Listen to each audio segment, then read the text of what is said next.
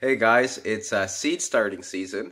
So let's go over some things that you should be thinking about when you're going to start your seeds for the garden for next year.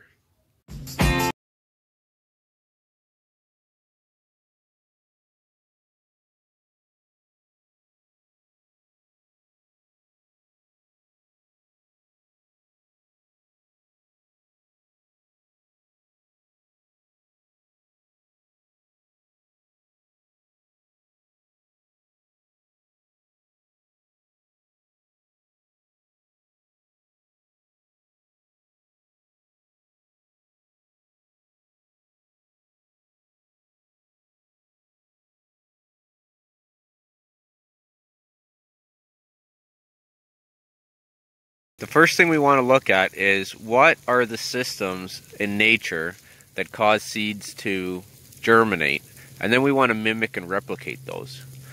So, what are the soils that seeds will germinate in, and what are the light conditions and water conditions that soils will germinate in? Now, just quickly, forgive me for the shakiness of the videos. Uh, my my gimbal stabilizer broke. I'm looking to replace it. So sorry about that uh, if these are a little bit shaky. Um, so seeds will germinate kind of underneath trees on the forest floor of the canopy um, of the system that they're in. Obviously, grasslands will germinate. Grassland seed-loving species will germinate in grassland environments, and tree-based fungal-dominated soil uh, seeds uh, will germinate in those. So typically the thing that's common with all of them is going to be a dappled sun style of lighting. So underneath this uh, Russian olive tree, this is a nitrogen fixing chop and drop sacrificial species for my apple tree here. Uh, and it has service berries and asparagus and stuff planted all in and around it that is dormant right now. Um, this is a, a hazelbert bush I believe it might be a service berry. Um, can't quite remember. But trees, seeds are going to germinate inside uh, the leaves here. Inside dappled shade, covered by the uh, the filtered light that's getting through the leaves of the bushes, and it's going to be inside dappled shade of grasses and leaves uh, down on the soil. So when we are thinking about what kind of environment we want our seeds to go in, we want to try to replicate that. I'm going to do a seed saving uh, video down the road. This is my seed collection that I've just kind of started. Um, these are both seeds that I've purchased before, as well as handfuls, um, tons and tons of seeds that I collect and save to get my own genetics. Um, essentially, seeds themselves will have all of the nutrient that it needs inside the seed. And the soils of the seeds aren't going to need um, any nutrients, at least at the beginning stage of the plant. So we have a whole bunch of seeds in here. Each one of these seeds has everything that it needs in order to get established and get up to at least until it has its first leaf set. This is perennial kale here. Um, the size of this plant is absolutely incredible when it gets established, and you saw the size of the seed. It, it has uh, very, very small seeds. It needs very little energy to get established.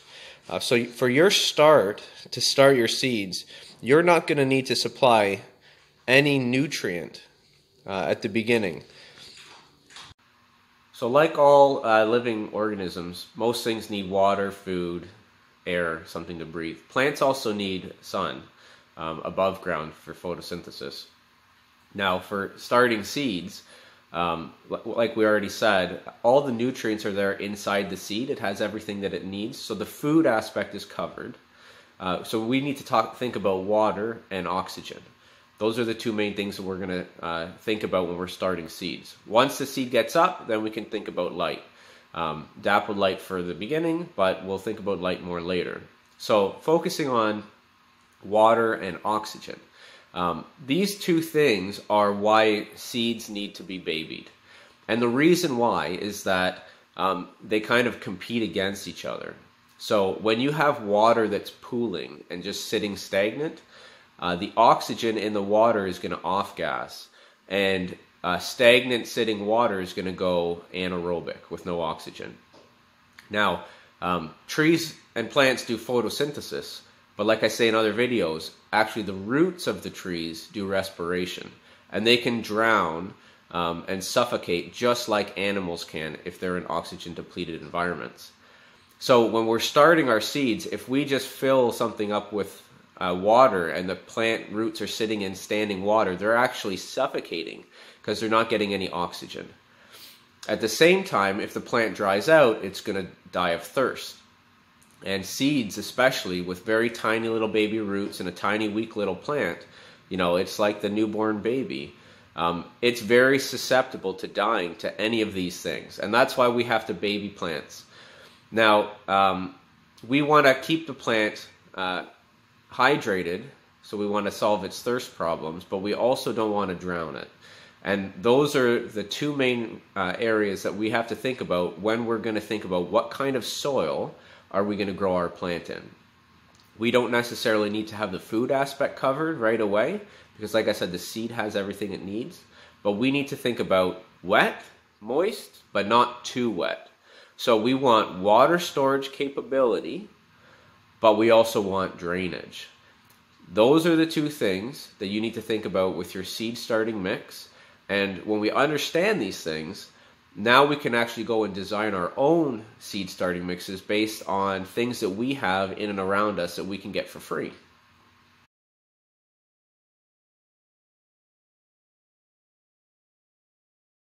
The last thing that they need, uh, they're going to need temperature.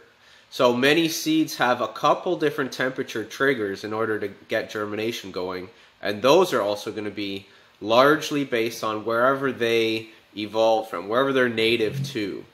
So, for example, something like a tomato, it's going to need a fairly warm temperature to trigger germination. And this isn't a black and white thing. So, as the temperature gets warmer and warmer, closer up to say 80 degrees Fahrenheit, then you'll get a higher germination rate um, and a, a, shorter germination time for your tomato seeds. Typically, most seeds are going to want to germinate somewhere in the 65 to 80 Fahrenheit range. And as you go from 65 and up towards 80, you'll just find that um, instead of having a ter- 10 days until they germinate, it'll go to 8 days, to 6 days, to 4 days, that sort of thing. Cold stratification means that the seed will need a certain number of days below a certain temperature in order to say, hey, winter has fully come and gone, and now I actually think it's spring, and I'm going to go ahead and germinate.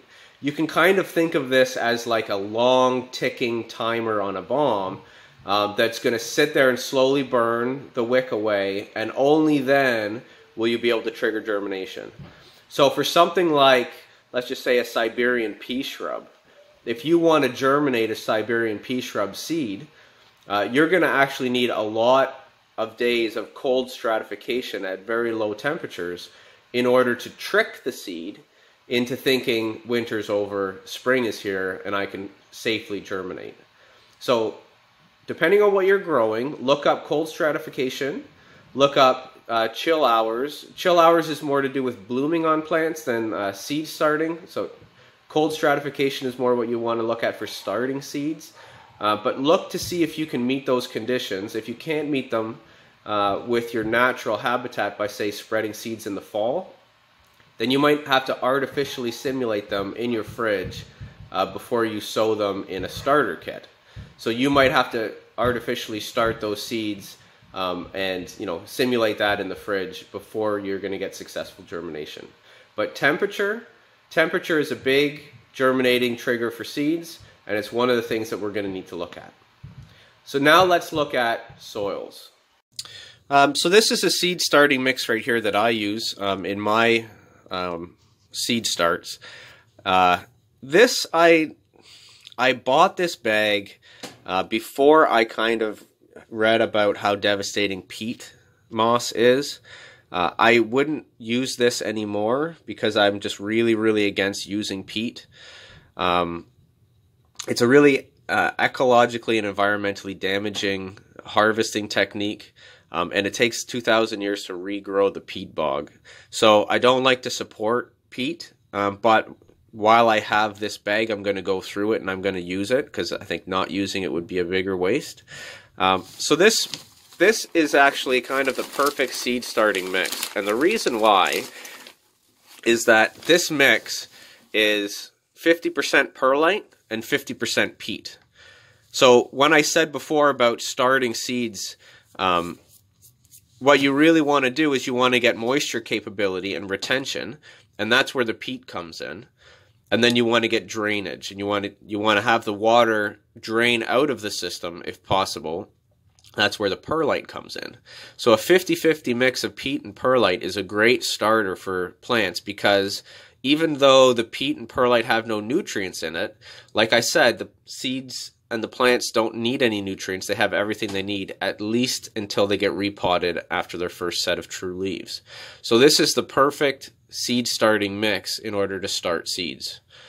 You can do other things as long as you have as long as you have the ability to drain soil and retain soil and moisture and hold it inside something where it's not the roots aren't sitting in the moisture but the water is accessible to the roots. So uh, for the water retention capabilities that can be compost it can be whatever you want. Now um, if you want to bring compost inside you're going to have to understand that there's going to be eggs of tons of insects in there. There's going to be uh, you know fungal and soil diseases in there and they can attack your plants so if you're going to bring compost, it should be finished compost, well finished compost. And then if you want to treat it by sticking it in the oven or putting it on a fire uh, where it's going to get above, you know, 180 Fahrenheit to kill everything in it and kind of sterilize it, um, then you probably want to go ahead and do that because you don't want to hatch a bunch of aphid eggs or something like that inside your house. Uh, we can design systems in nature in our final planting location to deal with that stuff in a natural way. But in your basement, you don't have an ecosystem in your basement. So you don't want to have a bunch of aphids or whatever it is hatching inside your basement grow area. Um, so, as much as I'm an advocate for growing in live systems, starting seeds is actually best done in sterile systems. So it's one of the, you know, only areas that I really do move away from, you know, the uh, starting in sterile system or starting in and growing in live systems if possible. Now, for anything that you can sow and start in situ uh, in your in the final garden bed location, then that's better. Just do it there. Uh, for me in Canada, uh, you know, if I want to grow tomatoes, I have to start them because I just won't get tomatoes in time if I wait until June 1st and then plant my tomatoes starting there. I need to get a good solid six or eight weeks ahead and start them early, and that way I can really maximize my harvest. So, uh, for seeds that I start, I like to grow them in sterile environments, uh, at least at the beginning until they get their first set of true leaves. So, here's my setup uh, in terms of light. Um, I have a heat mat that I purchased. This is the heat mat here. It's a Jumpstart seedling heat mat. Um, and this will heat the seeds up to trigger germination uh, perfectly. And then once the seeds come up, um, this is my grow light here. I want to actually get a second one because I found that uh, the plants on the edges, I wasn't using all my space ideally. The plants on the edges were kind of reaching towards the grow light. Uh, so I actually want to get two of these in here for the same spot. And then I just put tinfoil around to try to reflect as much light as possible back in. And then I have it on this, you know, rope system where I can drop I can drop this uh, grow light right down. So once the plants grow, it's almost like they're in the grassland and they they reached up over top of the uh, grasses and if you don't bring the light down close to them, they're going to reach up and get spindly and long and weak. So as soon as the plants grow up, you want this plant to be um, very, very close to the light. You want it to be uh, inches away from the light and then be able to adjust it as the as the plants grow so that they don't have to reach too hard and they can grow thick strong roots so having an ability to raise or lower your light is perfect if you have um, led lights that aren't going to burn your plants that's even better and uh, if you're growing on you know some kind of incandescent lamp bulbs just be aware that it's going to put out a bunch of heat and you might burn some of your plants um, so just try to watch for signs of burn damage and stay just above that height. Uh, but you do want that light nice and low. So now let's talk about how we water the plants. Um, when the seeds are really young, you have to water from above because they don't have roots to drive right down um, this big. Uh, sorry for the low light conditions here. Uh, to go right down all the way to the bottom of these seed start uh, trays, they're only going to have roots at the top surface of these things. So you have to, you know, really baby the seeds and sprinkle them with a gent- gentle layer of, of you know, sprayed aerosol water, and just keep the the surface wet. Now, the thing that's going to kill the seeds is at the beginning age is either the seeds drying out or the seed staying too wet and molds developing. And molds will kill a seed faster than anything else. So while you're trying to keep them wet, you have to baby them and you want to just keep them moist. And then once in a while, you're actually going to want to have the thing dry out completely. And you're, you're going to want to kill off any molds that are growing and accumulating in your uh, in and around your seeds because they'll actually kill your seed. So ideally, at a time when you're at home, then you can um, let it go completely dry where it's not going to stay dry for too too long maybe just an hour two hours couple hours and then you can re-water them and re-soak um, just to keep that mold the mold from you just want to really wipe that mold out and stop the mold from killing your seeds. But you do want to keep them moist you want them not to dry out too much and then um, you want them not getting too soaking wet in standing water.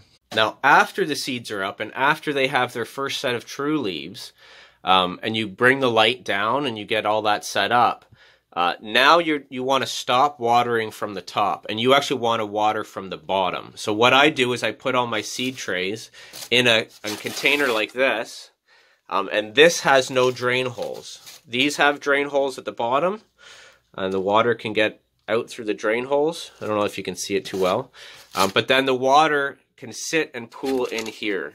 And then what I'll do is I'll just remove I'll remove one of the the seed trays in here.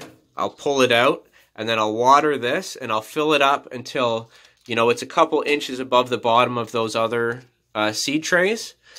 And then I'll put the I'll put the thing back in and then the plants will wick up the moisture from the bottom as they need it. Now, if I just leave this in the water in there for a couple days, it'll turn anaerobic. So I actually want to um, pull that water out, you know, once a day and refill it with fresh oxygenated water. Uh, the last thing uh, when talking about watering is maybe once a week I want to do a hard flush. So once I said don't water from the top, but at the same time, once a week, I do a hard flush and I water entirely from the top and I flood it.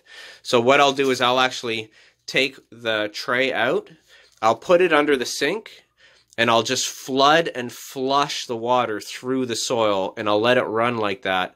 Um, until you know for maybe 30 seconds or a minute of just constant flushing water through that soil and what that's going to do is it's going to pull all it's going to pull all the diseases and anything that's building up that I don't like, all the salts from anything, you know, in any kind of fertilizer sprays. If you do add fertilizer sprays and uh, plant feed, the salts in those sprays, it's important that we flush them out so it'll pull it down and flush them out through the soil and keep them from building up around the plants.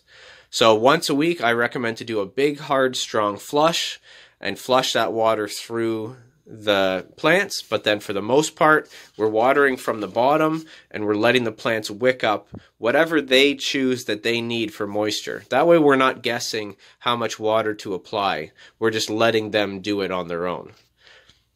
Now, once the plant gets up above uh, its uh, first set of true leaves, the seed is out of energy. So now we actually need to feed it. So um, all the watering recommendations that I said below, we, are going to keep doing it in the, this new system, but we're also going to pot up. We're going to take advantage of the fact that we need to now move from uh, a sterile soil, and we're going to have to move into something that has some nutrients in it. So, and we're also going to take advantage of the fact that um, these tiny little seed trays the plant's going to start getting root bound inside of those.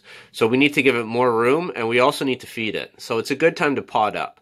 So potting up means we're going to take one of these cells. We're going to take one of the cells of these seed uh, starting trays and we're going to put each one into something big like, you know, a beer cup.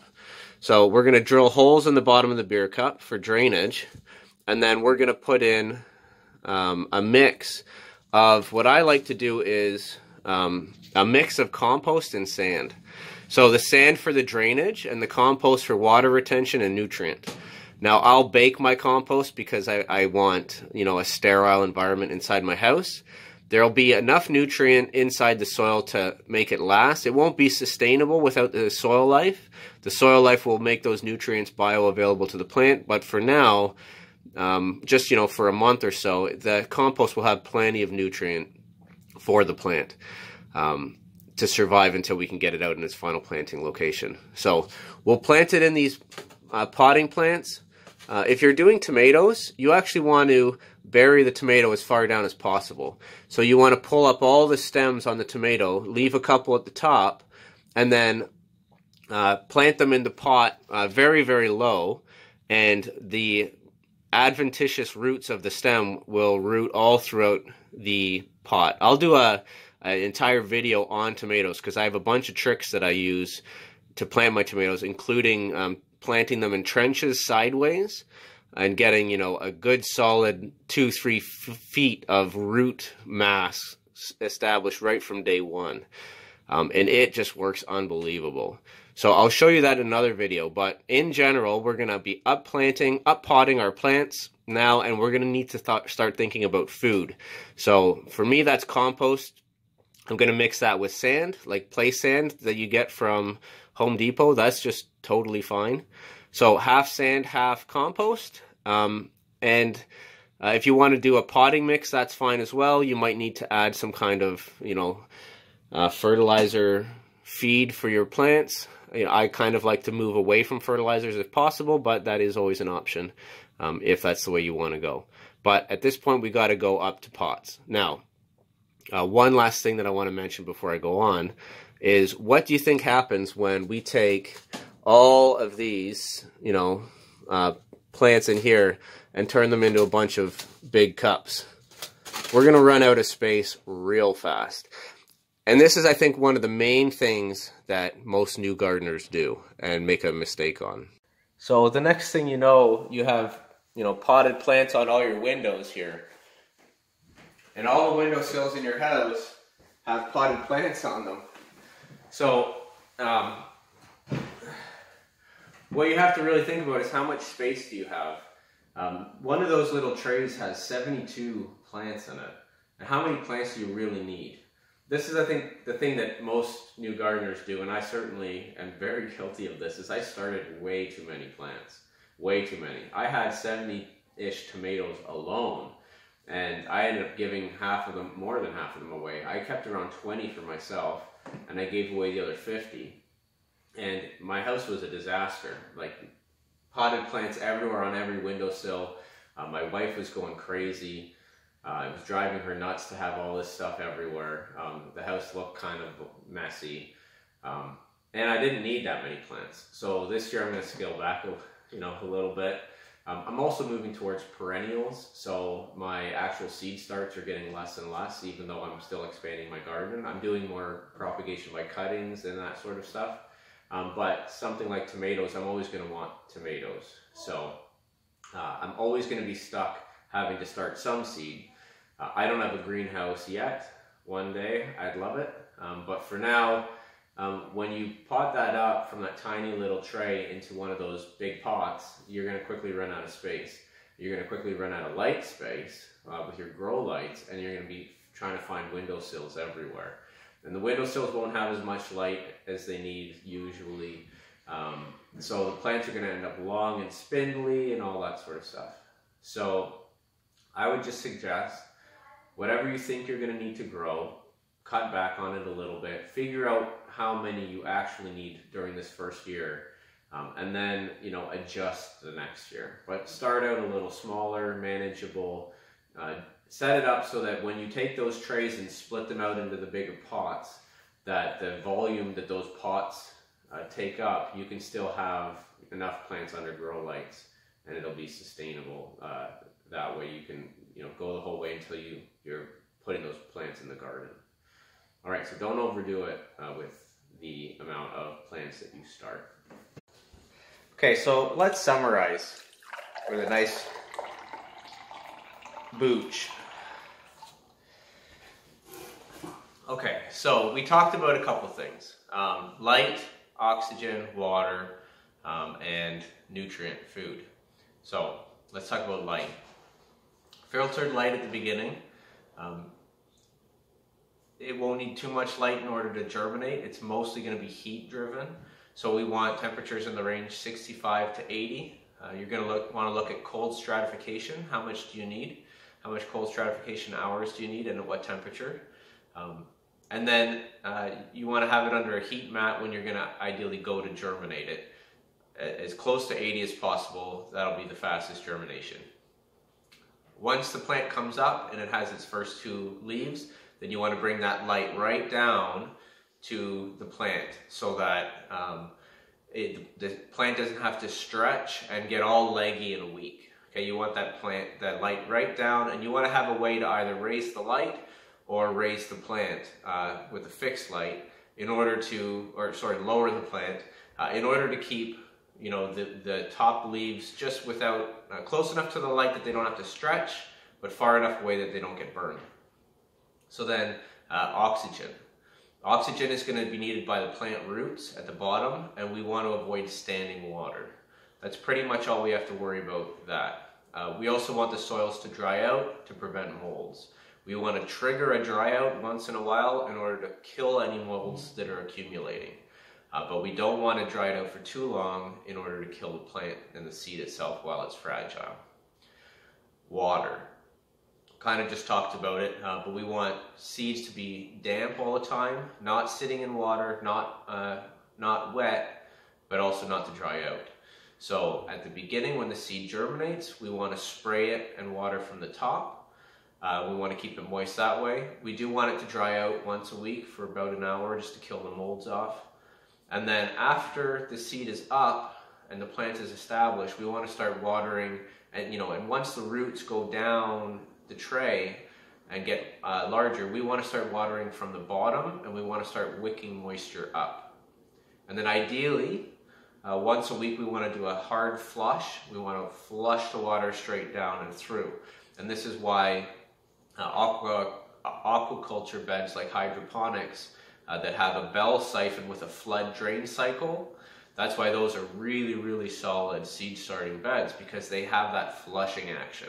So we do want to simulate that as much as we can. We want to flush uh, as much as possible. And then, uh, so that's sun, water, for soils. Uh, the soil we want to have 50-50% water holding capability, and then we want to have it to be able to drain. So uh, we want to do something like peat and perlite, we want to do compost and sand, um, if you do compost and sand, maybe go a little heavier on the sand side. Um, but you can think of whatever you want. You can do, you know, pea gravel that you have uh, free somewhere, and then something that's going to hold moisture. Um, rotted, chopped up leaves, coconut uh, coir, uh, anything like that is fine as long as you have a moisture retention capability as well as a draining capability. Um, and then um, the last thing is nutrient. It, as soon as the plant gets tall enough to have its own first set of leaves, that's where the seed has kind of been expended and all of its nutrient is gone. Uh, and now you have to, the, you don't have to supply it, but somehow the plant has to be able to access new nutrient. So whether that's because you grow in compost nutrient rich soils, whether you pot it out um, and up pot it, or just put it out into the garden at that point, uh, whatever you do, somehow the plant needs to be able to eat. And it's all out of food, and now you've got to find a way to do that. If you do a seed starting uh, fertilizer, you know, that's fine too.